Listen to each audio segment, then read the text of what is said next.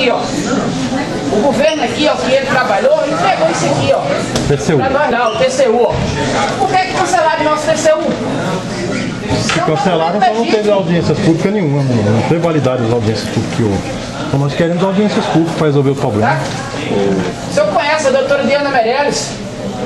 Certo? Essas fases, na verdade, já passaram, né? Não, mas passa não, veio nos atingir Mas tem agora, validade. Tem O papel do validade. Estado reconheceu.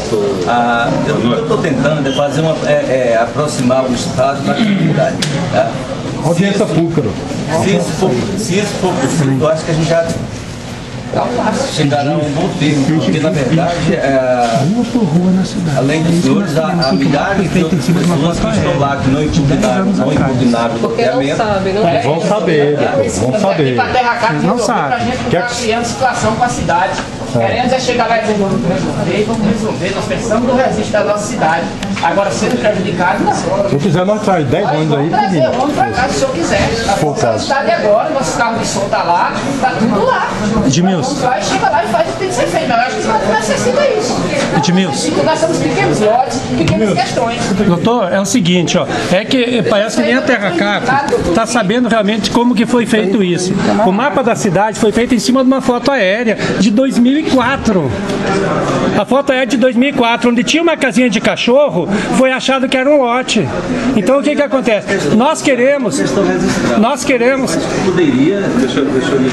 Viu, doutor? Nós queremos que seja revista a cidade toda, rua por rua, que a gente sempre pediu para a administradora fazer, ela nunca quis fazer. rever dessa forma, teria que ter começado tudo regularizado, né? Porque aí começou tudo errado. Mas então, Então, que- como é que mas vai fazer? vamos Nós fazer queremos é errado resolver. Nós queremos é resolver. eu acho que é, nossa situação aqui não, não, é uma situação simples e provavelmente nós não vamos conseguir resolver aqui nessa reunião, porque, de fato, o que eles estão discutindo é um projeto.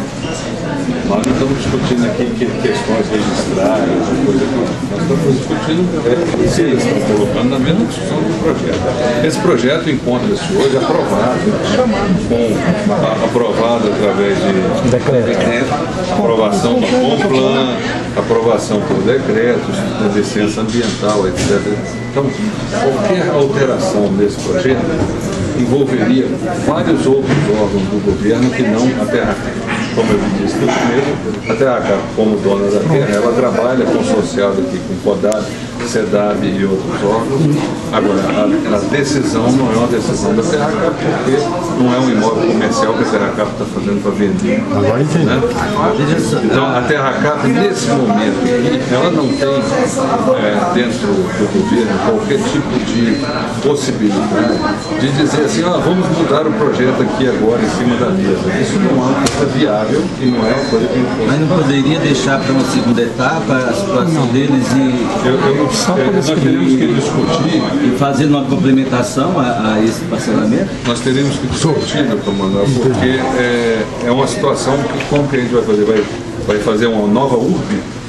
Doutor, excluindo os projetos dele, aí teria que voltar para o Complan, voltar para o governador, reaprovar decreto. eu acho que não, há não haveria tanta necessidade, mas se a Terra Cap não tiver uma, uma proposta concreta a fazer, eu vou, vou conceder um prazo para que a Terra Cap faça, ah, faça uma contrariedade às impugnações e aí vou submeter ao juiz do registro público. É, é, eu estou achando que nesse momento é, é Vamos só, fazer mais impugnações então, para reforçar essas aí. só, Inclusive, ó, o lote lá é meu. Eu tenho 15 anos do meu lote. Aqui, ó. Não é mais da Terra Cap. Não é da Terra